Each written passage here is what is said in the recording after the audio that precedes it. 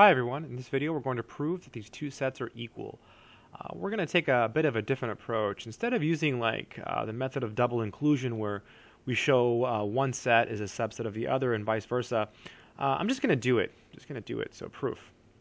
This is uh, one of De Morgan's laws. Um, so there's two uh, statements for De Morgan's law. This is one of them. By the way, this bar here means absolute complement. So um, this symbol, a bar, is the same as a complement.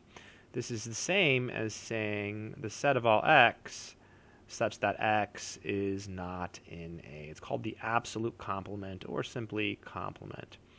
All right, so I said we were just going to do it, so let us do it. So I'm going to start by writing down this set, and we're just going to show it's equal to this set. Let's do it. So we have A intersection B, and we're taking the complement of that.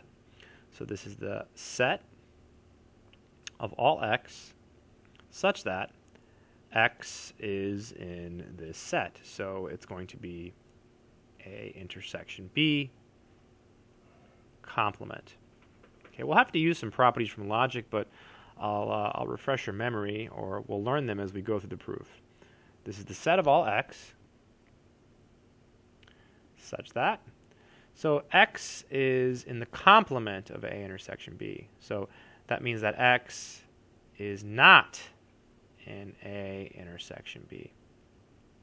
Right? So it's not in the intersection of the two. So it's not there. Okay, so it's not in the intersection. So this is equal to the set of all x such that so if x is not in the intersection, right, what does that mean? So if x is in the intersection, it's in both. So if it's not in the intersection, that means that it's not in A or it's not in B, right? It's not in B, right? So we're saying it's not in both. So if it's not in both, that means it's either not going to be in A, not going to be in B, or it's not going to be in both, right? So um, this is a statement from, from logic, right, from logic. And then so what does this mean? This is the set of all x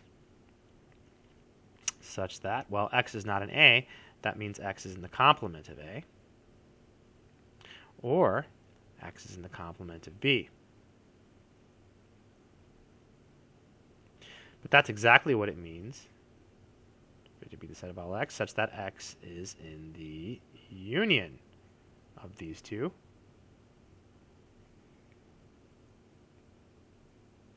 And this is precisely the set that we wanted to show that it was equal to. And that completes the proofs. I hope this has made sense. I think this is probably the most um, confusing step going from, from here to here. Uh, but it's something that comes from mathematical logic. So again, you can reason it pretty simply. Um, you're saying that x is not an A or x is not in B, um, therefore it can't be in the intersection. That's it.